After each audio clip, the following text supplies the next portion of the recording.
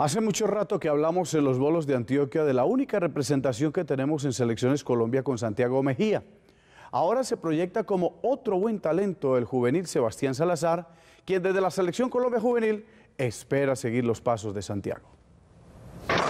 Tras los pasos del experimentado Santiago Mejía viene una promesa que cada vez está más cerca de ser una realidad. Se trata de Sebastián Salazar, quien ya es Selección Colombia Juvenil.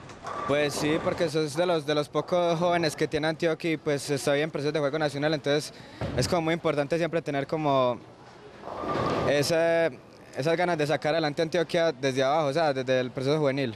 A sus escasos 16 años, Santiago se mide ante los mejores de Colombia, pero su anhelo es jugar en equipo con su profesor. Tengo muchas ganas de, de poder jugar con él, equipos o parejas, es como un sueño.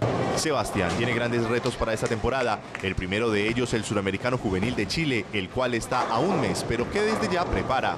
La meta es ser todas las medallas posibles para Colombia, lo, que más se pueda. El suramericano juvenil de Chile, que será el 12 del próximo mes, es el primer reto de 2014 para Sebastián, quien además enfrentará Campeonato Nacional Sub-18 y Centroamericano en Panamá.